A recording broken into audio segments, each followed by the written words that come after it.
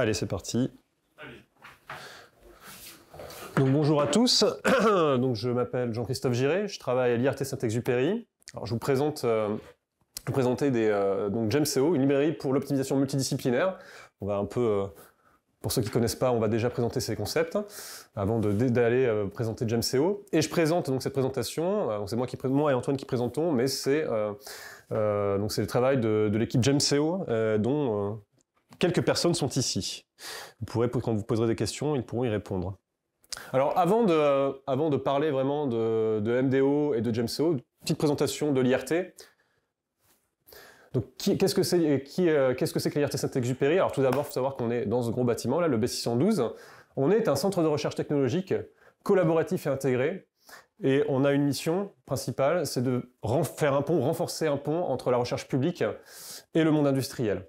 Quand on nous a créé, on a- nous a donné quatre missions principales. Première, promouvoir la recherche française technologique au bénéfice des industriels, développer un écosystème pour l'aéronautique et le spatial et les systèmes, et les systèmes, et les systèmes critiques, de vue de notre implantation. Et ce, cela comment? D'un point de vue pragmatique, par la construction de projets de recherche communs et par l'utilisation de plateformes technologiques, qu'elles puissent être numériques ou physiques. hein. On ne fait pas que du numérique à l'IRT. Loin de là. Créer un lien entre la recherche publique et la recherche privée. Donc, l'idée, c'est après de, faciliter des transferts de ressources du monde académique vers l'industrie. Encore une fois, une espèce d'avoir une fertilisation croisée. Et on en revient à ce que je disais au tout début, donc ce- cet aspect collaboratif et intégré, cette notion un peu de maison commune, où en fait les industriels, les académiques, les personnels IRT se retrouvent au sein d'un même endroit pour faire, pour mener des projets en commun, et euh, avec des besoins qui sont exprimés par les industriels.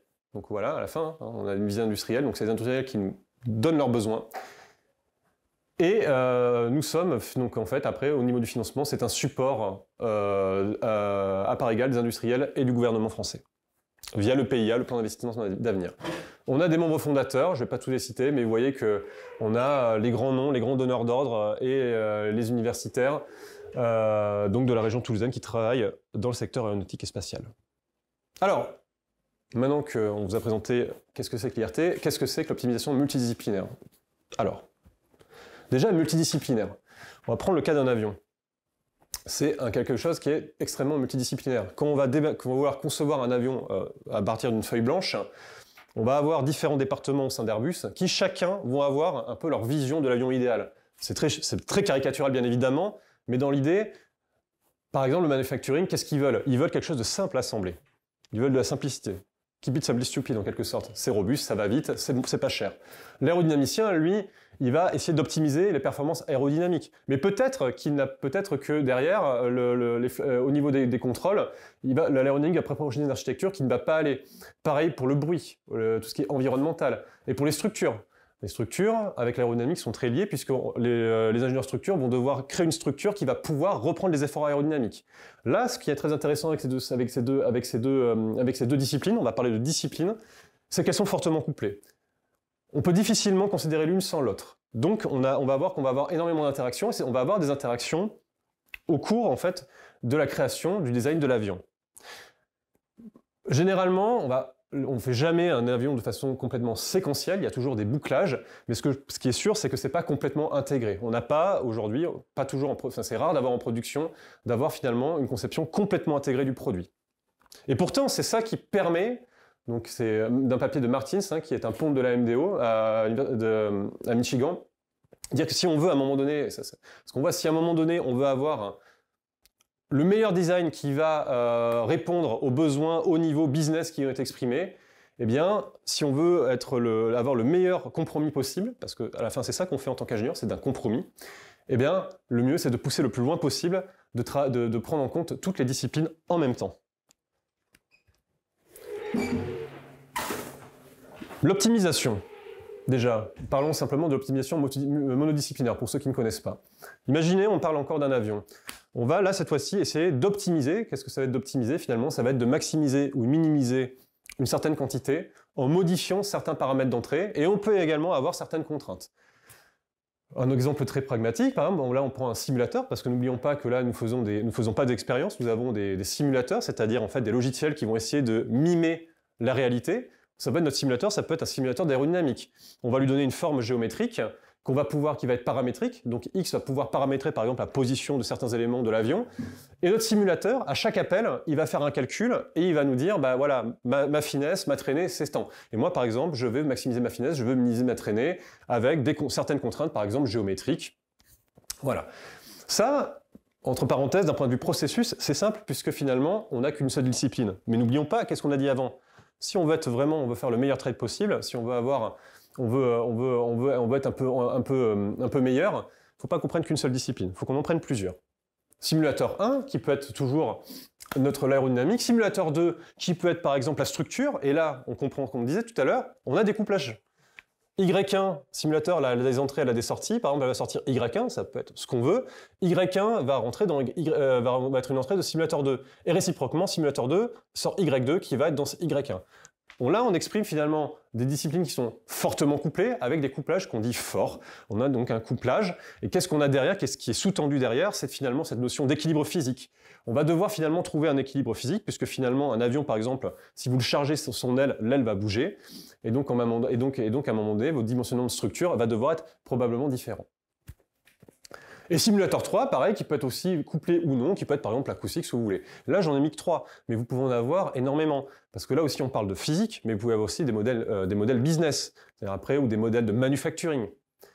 Donc on commence à comprendre, et aussi au niveau qu'on veut, la façon dont on veut euh, résoudre les choses. Optimiseur 1, optimiseur 2. On peut très bien, on a différents optimiseurs, dans euh, donc des algorithmes qui vont nous permettre finalement de faire ce processus itératif pour essayer de maximiser ou minimiser une, valeur il y en a énormément. Euh, ce qui peut être intéressant, nous, en tant qu'ingénieurs, c'est à un moment donné dire oui, mais tiens, j'ai testé cet optimiseur, mais peut-être qu'un autre optimiseur peut être intéressant. Et je veux pas que ça me coûte cher si je fais ça. Donc, on comprend que là, derrière, qu'est-ce qu'on voit? C'est une espèce de combinatoire qui se dessine. Combinatoire. Et si on est un peu imaginatif, on commence à se dire ah ouais, mais attendez, si je mets, ça, je fais, on ça en production et qu'à un moment donné, euh, j'ai des cycles de développement très courts, eh bien, euh, ça serait intéressant que je puisse être agile et ça serait intéressant de minimiser finalement mes, coûts de maintenance, comme dans tout projet, comme ce qu'on peut trouver finalement dans le génie logiciel. Et donc là, il y a la vraie question qui se pose d'avoir le bon outil qui nous permet de faire ça. Et ça nous amène à GemCO. GemCO a vraiment été conçu en 2015 pour répondre à ce problème finalement de pouvoir être d'un moteur en fait. Donc GemCO c'est Generic Engine, donc moteur générique pour For Multidisciplinary Scenarios Exploration and Optimization, vraiment d'avoir cet aspect générique, cet aspect reconfigurable, et c'est-à-dire qu'à un moment donné, si je change d'avis, je veux tester d'autres choses, je veux, et que j'ai une énorme combinatoire, que cet outil me facilite la vie. Créé en 2015 à l'IRT Saint-Exupéry, dans le pôle de compétences euh, MDO. Donc, euh, tout comme euh, finalement, hein, euh, contient un peu ce qui est l'ADN de l'IRT, hein, c'est-à-dire vraiment ce, cette expression des besoins industriels qui sont vraiment dedans. C'était vraiment pris dès le départ. C'était les exigences initiales du logiciel. Et bien évidemment, de pouvoir finalement, d'avoir également cette, idée de créer un pont, de prendre finalement tout ce qui est tous les algorithmes numériques, tout, tout, tout ce qui est à l'état de l'art d'un point de vue académique et de pouvoir le donner à disposition aux industriels. La, force de GemCO, on, le verra un peu plus tard, c'est l'automatisation des process MDO basés sur des formulations MDO. Formulation MDO, derrière ce nom, finalement, c'est un template, c'est une architecture qui va vous, ça va être différentes architectures qui vont vous permettre de résoudre un problème et finalement d'adresser euh, un, problème, mathématique donné. Voilà. On va voir un peu, plus tard les fonctionnalités.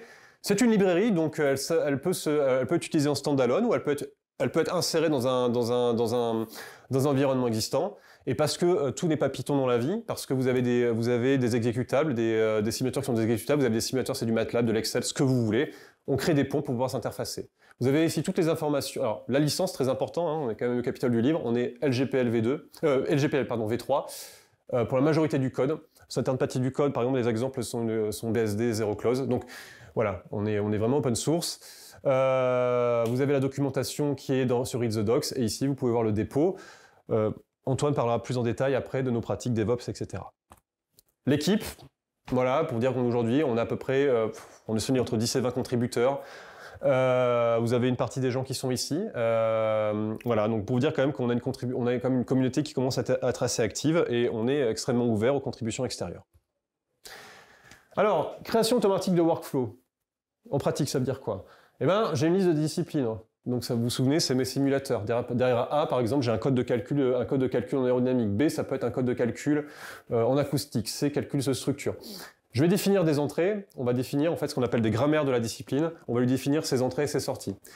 On va pas les connecter entre elles. On va pas dire ah mais A, tu dois te connecter avec B, parce que là, finalement, on rigidifie tout, c'est pas ce qu'on veut. On ne fait que définir des grammaires, et également, après, on va faire ce qu'on appelle implémenter, on va dire, on va, on va programmer en Python, dire, ben voilà, derrière A, en fait, je veux calculer, je veux, déléguer, je vais déléguer, faire des mécanismes de délégation d'exécution à un exécutable ou à une librairie, à ce que vous voulez. Et après, on va pouvoir générer des workflows. Par exemple, ici, on, a, on va prendre nos disciplines, vous voyez, vous voyez que A et F, on a des couplages forts, hein. donc on a ces bouclages qu'on a expliqués tout à l'heure, et on a des algorithmes qui sont dans GemCO qui nous permettent automatiquement finalement de détecter ces couplages, ces cycles, avec des algorithmes de graphes, et qui va automatiquement nous créer le process. Donc quand, il y a cet aspect générique derrière aussi, finalement, c'est ça, c'est finalement des outils, des, euh, algorithmes qui permettent finalement de nous euh, faciliter la vie et de créer et de créer automatiquement le workflow. Et ça, c'est au service de quoi? C'est au service finalement de ces formulations MDO. C'est-à-dire que derrière, en fait, vous allez avoir par exemple différentes façons d'adresser un, problème donné avec un nombre de disciplines. Je vais vous donner un exemple. Vous avez des couplages forts, par exemple, dans une discipline. Vous avez un cycle. Vous avez, euh, par exemple, il y a deux formulations qui sont un peu iconiques, qui sont très, très connues. Euh, c'est la MDF et IDF. MDF, vous avez donc des couplages forts, vous avez un équilibre physique. Mathématiquement, vous pouvez vous dire, bah, si je veux trouver finalement l'équilibre physique, je vais par exemple faire une méthode de recherche de zéro ou une méthode euh, de point fixe.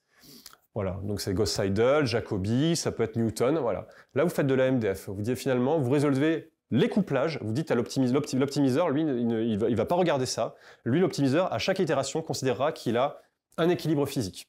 C'est une façon de faire. Vous pouvez dire aussi, moi, en fait, je veux pas faire ça. Moi, je veux déléguer à mon optimiseur, qui, a cette, s'il a cette capacité, de résoudre mes équilibres physiques. Et là, je vais rajouter des nouvelles contraintes, des, contraintes d'égalité, dites des, contraintes d'égalité de, euh, euh, de consistance, qui vont me permettre de résoudre cet équilibre physique.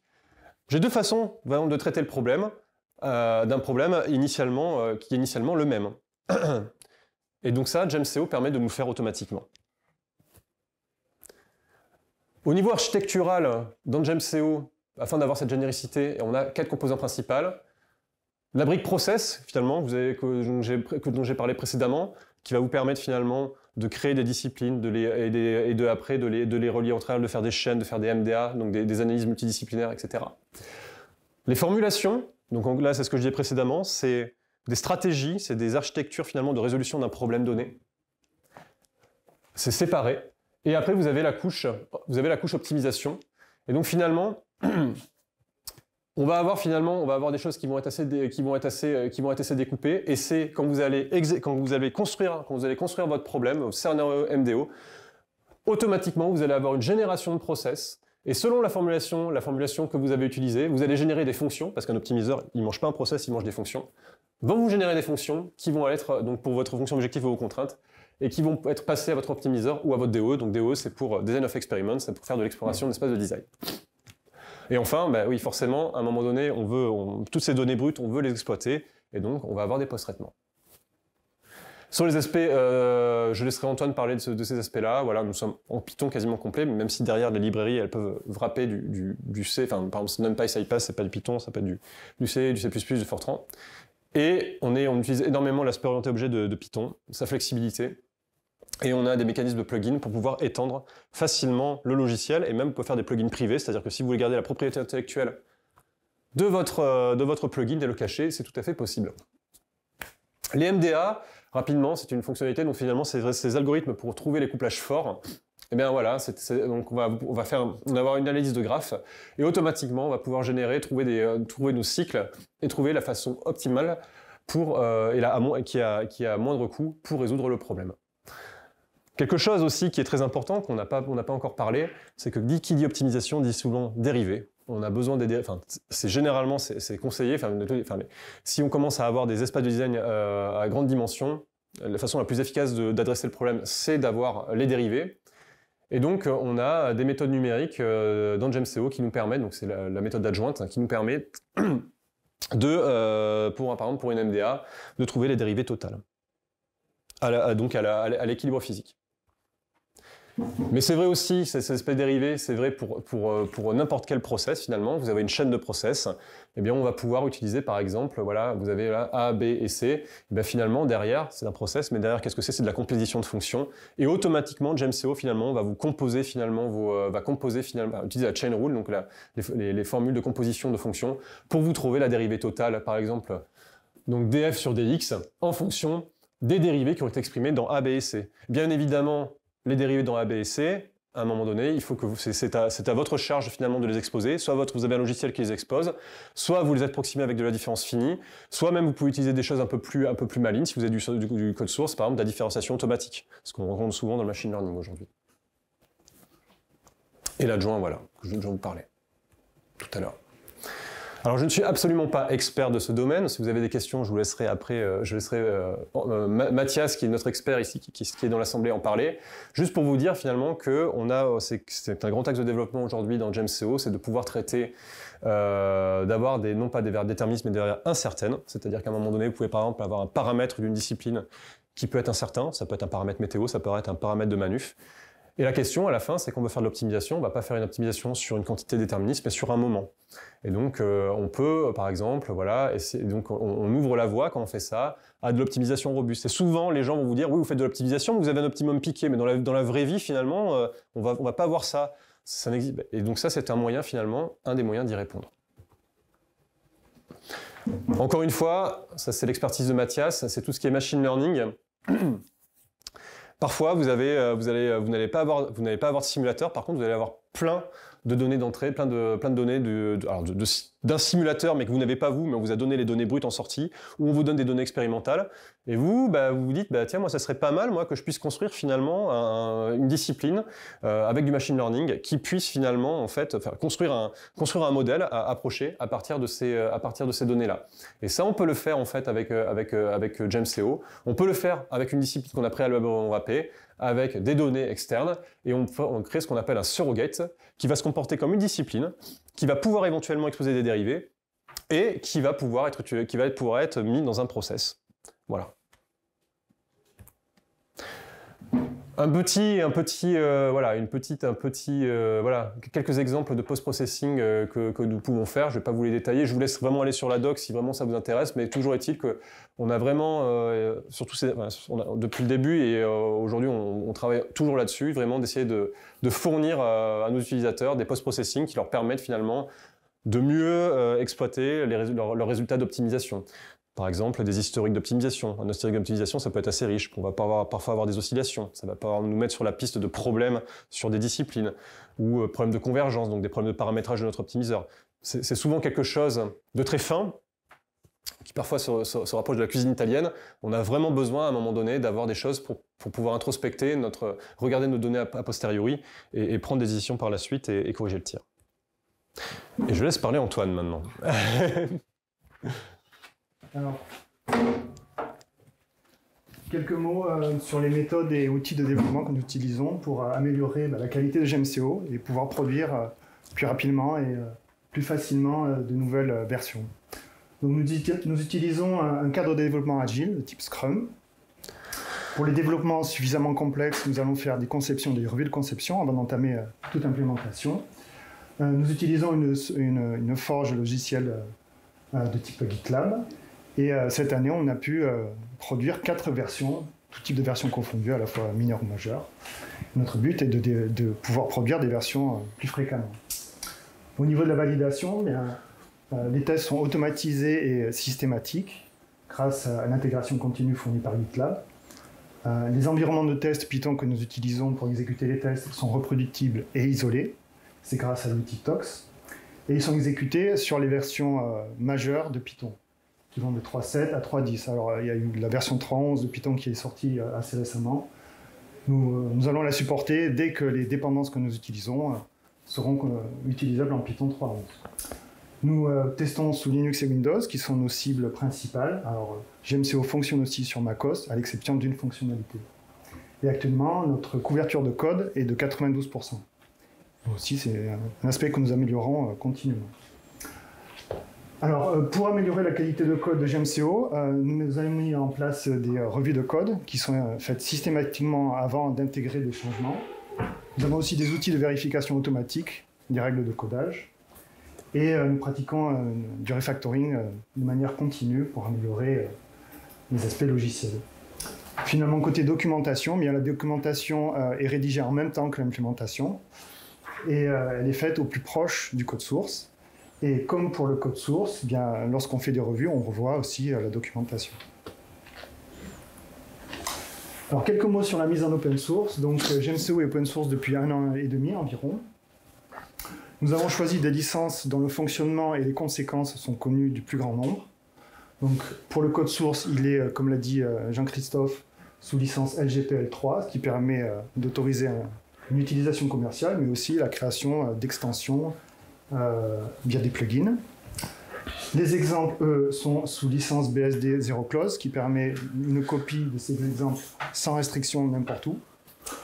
Et la documentation, elle, est sous licence Creative Commons by SA 4, qui, euh, au contraire des exemples, implique certaines restrictions euh, sur euh, la copie de cette doc en partie ou totalement.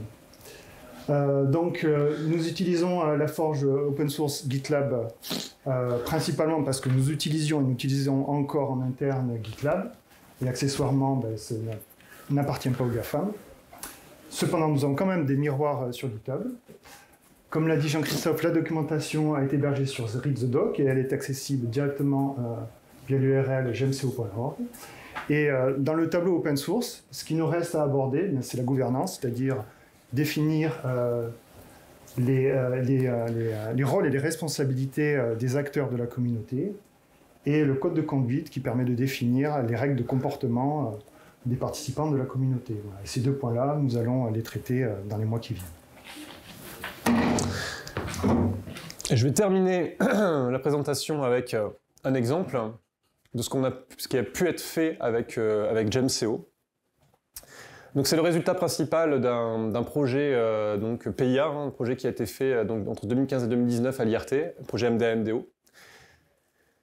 Et donc euh, voilà, l'idée c'était vraiment d'optimiser la position optimale d'un mât moteur sous une aile. Donc le mât, c'est vraiment cette, ce composant finalement qui va faire la liaison entre l'aile et la nacelle et le moteur.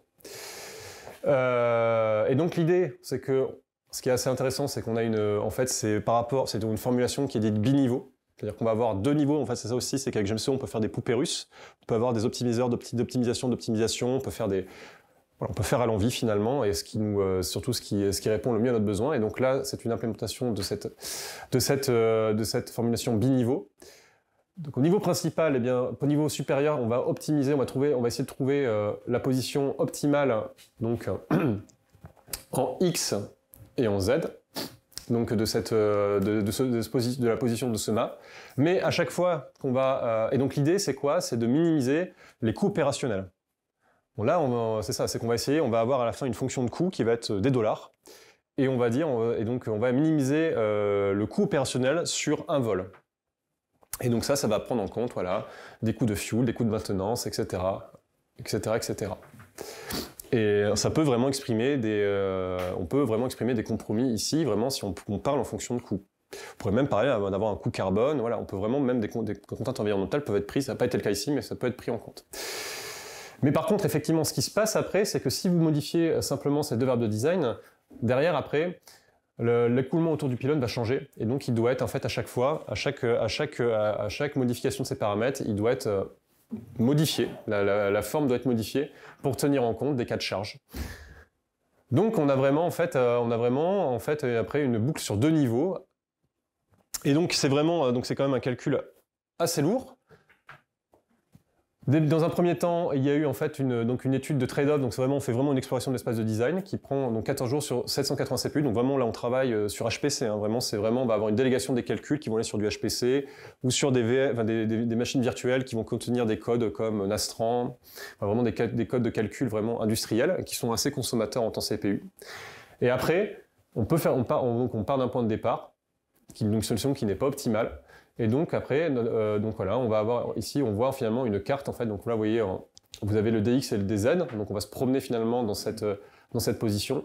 Dans la, dans ces, dans, ces, euh, l'optimiseur va se promener dans cet espace de design et il va essayer de trouver donc ce, ce coût, ce coût, ce coût opérationnel optimal tout en respectant les contraintes, les, les contraintes du problème. Et ce qui est intéressant de voir ici, quand on regarde les résultats, donc déjà les résultats, c'est obtenu en 6 jours. Donc 6 jours, c'est pas le projet qui a duré 6 jours, hein, mais c'est 6 jours à la fin sur l'application finale. Ça a duré 6 jours sur 154 CPU, et on peut aller plus vite si on augmente le nombre de CPU, mais bien sûr on va dégrader la scalabilité, c'est-à-dire qu'on on sera moins efficace en termes de calcul. Et donc on a un gain de 90 dollars par, vol. Et ce qui est assez intéressant finalement, c'est que l'optimiseur, comment il arrive à... Donc ça c'est fait pendant, c'est finalement c'est en économisant du fuel. Et comment c'est fait? Et eh bien finalement, on optimise finalement la, on, en fait, on augmente le poids du, du, pylône, mais malgré tout, même en augmentant le poids du pylône, donc c'est généralement on va essayer de chasser le poids, mais pour autant, on va quand même améliorer finalement notre traînée. On va avoir un gain de drainée d'un drag, qu'on appelle le drag code, donc c'est un, point de traînée. Et donc euh, voilà, finalement notre optimiseur nous a permis de faire ça. Donc c'était vraiment, donc voilà, vous avez vraiment un des résultats, enfin un résultat très, enfin vraiment d'un cas d'application assez complexe qui est vraiment des physiques différentes, avec vraiment aussi des, problématiques industrielles, vraiment de plateformes, de transfert de données, etc. Il faut voir qu'aussi, on va être sur des cas parfois beaucoup plus rapides. Euh, pas en dire trop, mais on peut par exemple penser, on peut penser par exemple à faire tourner GemCO en embarqué sur une tablette, euh, avoir des optimisations quasiment en temps réel. Vous pouvez le mettre dans un web service euh, et exposer ça en mode SaaS, parce que c'est du Python et derrière il y a tout ce qu'il faut pour faire, pour faire ça. Donc on peut imaginer, c'est vraiment très souple et on peut imaginer faire voilà énormément de choses. Et c'est agnostique, donc c'est pas vraiment aussi euh, que sur, on n'est pas vraiment, il n'y a rien finalement dans JamCO qui parle vraiment de, qui est vraiment lié à, l'aéronautique, au spatial. Donc on peut vraiment l'utiliser pour euh, n'importe quoi. voilà. Du moment qu'on veut faire de l'optimisation multidisciplinaire. Et voilà, je remercie pour votre attention. C'est tout ce qu'on avait à dire sur le sujet. Merci.